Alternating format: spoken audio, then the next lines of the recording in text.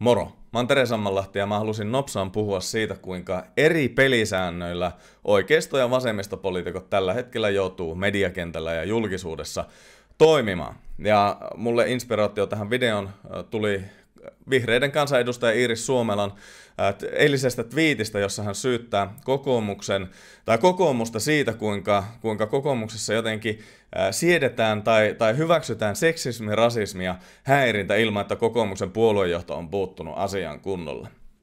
Mä halusin nostaa asian nyt esiin, koska tämä on aika tyypillistä vasemmistolle, että et, et saatetaan twiitata tai, tai puhua julkisuudessa ihan mitä tahansa tämmöisiä äärimmäisen vakavia syytöksiä ilman, että tuodaan mitään nimiä esiin tai millään tavalla konkreettisesti perustellaan omia syytöksiä. Ja tämä onkin hyvin hyvin tämmöinen tyypillinen propagandan muoto, jossa poliittisesta vastustajasta yritetään luoda jonkinlaista kuvaa semmoisena täysin psykopaattisena hirviönä, joka ei, ei välitä tämmöisistä asioista kuin seksismi, rasismi ja häirintä, vaan, vaan hiljaisesti tai jopa aktiivisesti hyväksyy ja jopa osallistuu tämmöiseen toimintaan.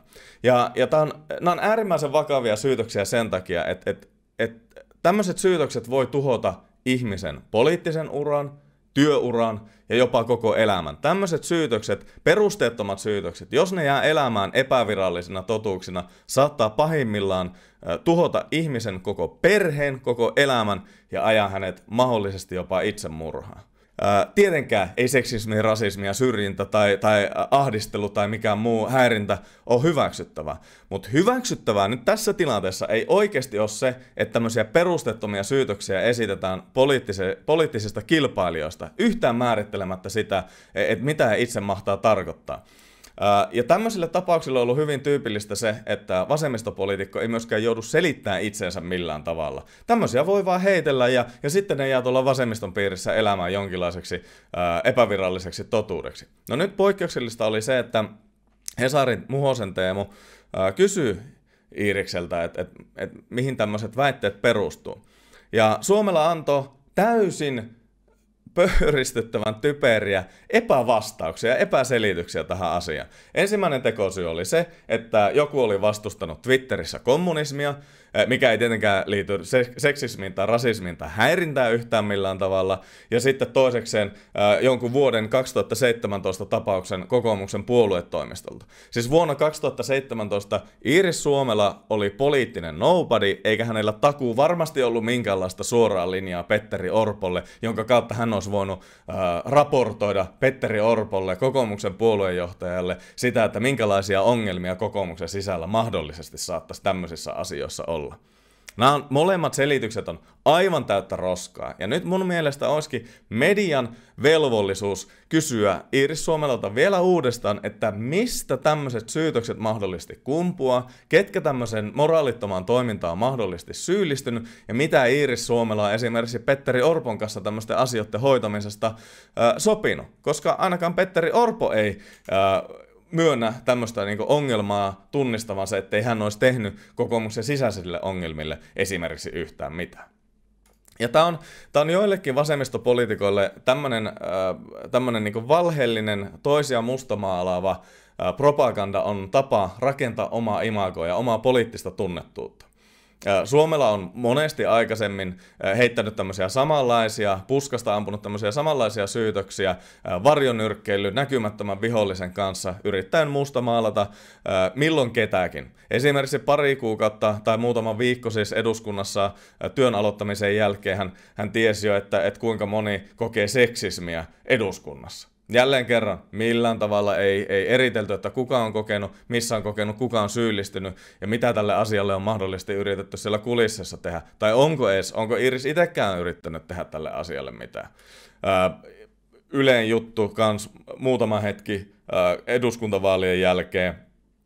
Ää, Ihan, ihan samanlaisia tuota, syytöksiä Tampereen kaupunginvaltuuston keskusteluilmapiiristä. Ja, ja aina, joutuu, aina joutuu esimerkiksi tässä tapauksessa Tampereen apulaspormestari Aleksi Jäntti joutuu, joutuu tuota, puolustuskannalle tässä asiassa, koska suomalainen ei itse tarttenut millään tavalla perustella tätä. Hän voi vain heittää, että, että häntä on syrjitty, hänen päälle on puhuttu ja häntä kohtaan on seksismiä. Ja sitten tässä nykyisessä keskusteluilmapiirissä ää, joku joutuu aina syytettyjen penkille siitä huolimatta, että Aleksi Jäntillä ei takuu varmasti ole mitään tekemistä jonkun Iiris Suomelan kokema seksismin tai häirinnän tai rasismin kanssa. Mutta aina joku joutuu vastaamaan näihin perustettumiin syytöksiin, mutta hirveän harvoin kysytään, että mihin tämmöiset syytökset oikeastaan perustuu. Ja voisiko, nämä, voisiko olla, että nämä ei olekaan tottavaa, osa näistä saattaisi ollakin, ollakin tuota, ihan poliitikon oma imagon kohotuskampanja.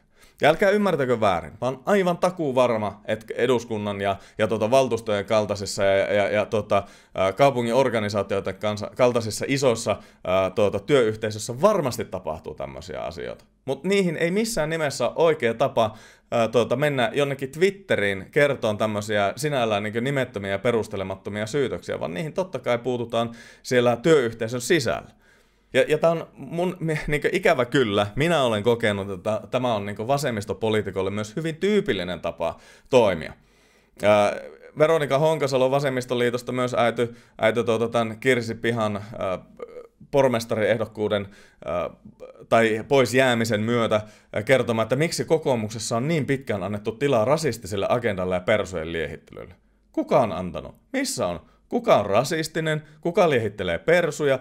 Jälleen kerran, ei minkäänlaista konkretiaa, täysin, täysin tuota varjonyrkkeilyä, näkymätöntä vihollista vastaan. Tarkoituksena tietenkin mustamaalata ja, ja vetää toisten mainetta lokaan. Ja Veronikahan on tässä kunto, kunnostautunut aikaisemminkin. Eduskuntavaalien alla Veronika Honkasalo tuota, julkisesti syytti mua väkivaltaiseksi trolliksi. Minä, joka en, en takuu varmasti ole ketään kohtaan väkivaltainen, ja siitä trollistakin voi olla hyvin, hyvin tuota montaa mieltä. Yleensä kun mä pyydän, pyydän tämmöisiä tuota, syytöksiä vastaan jonkinlaisia todisteita, niin, niin niitä ei yleensä löydy.